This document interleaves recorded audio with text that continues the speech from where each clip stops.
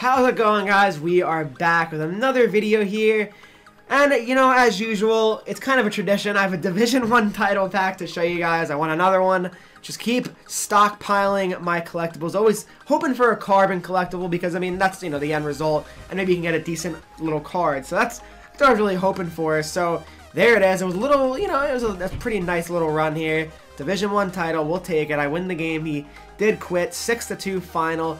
Unopened packs, one Division 1 title reward pack. I think you guys know what these look like, and I definitely do at this point. I've won 17, so, you know, it's been a really good year for me so far, as we get a goal collectible, unfortunately, and Charlie McAvoy. So that was just a little too bad, but in the end, it's alright. I mean, we'll still take the goal collectible no matter what. Here's a nice little drop pass for the easy wrist shot goal. Mike Modano, again, I think might be my best card, uh, at forward at least. And, uh, yeah, I mean, Sakic to me, he's whatever at this point. It, it could be because he's on the second line, he's not getting as much action, but yeah, for sure, he's, he's up there. And here's a nice little goal there for Bobby Clarke, guys. Bobby Clarke is really heating up. I will show you guys, you know, that later in the video. I mean, it's absolutely turning out to be a really nice card for me, so I'm really, really enjoying it. Absolute snipe right there by him. So, as we move on to the next clip here, you know, we, we get it in the zone, look for that wrister, you just make the defenseman keep moving. He just couldn't catch up. Mike Modano yet again. Just absolute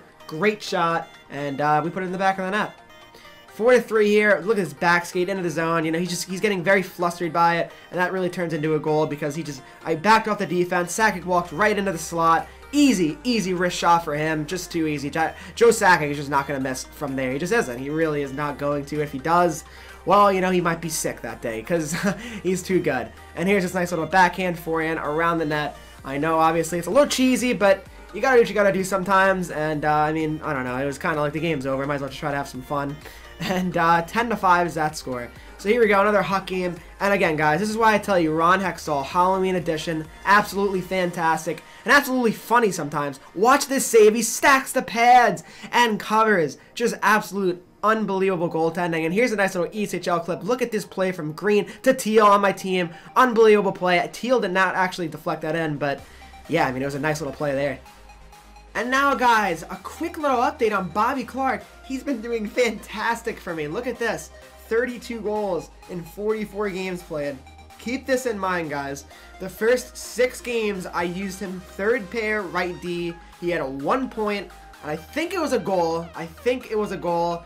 So pretty much, I mean, if you take those six games away, 38 games played at forward and 31 goals scored and, uh, 15 assists. I mean, so th this guy's been phenomenal. 47 points in essentially 38 games played. So this card's been an absolute tank, and it really turned out to be a surprise for me in, in all seriousness. I really didn't think this card was going to be as good as turning out to be. Everybody would be saying, you know, he's best on defense, but for me, he's actually really working at the second line right wing position. So, yeah, him, Kovalchuk, and Sakic are having a lot of success. I mean, he's playing with a lot, of, obviously, a lot of great players as well, but still, I mean, it's turning out to be a very pleasant surprise, and I'm happy to actually keep this card on my team. I really just don't see a reason to get rid of him, that's for sure. So, that's where Bobby Clarke stands for me at this point. So, let's move on to the next thing I want to show you guys. So you guys probably noticed that I have more coins. So I actually turned a lot, I turned a card into a lot of profit. I was on the market today doing the 59th minute method. I'm sure you guys know that method. It's a famous, famous old method that's been, you know, dates back probably to like NHL 13, maybe even before then.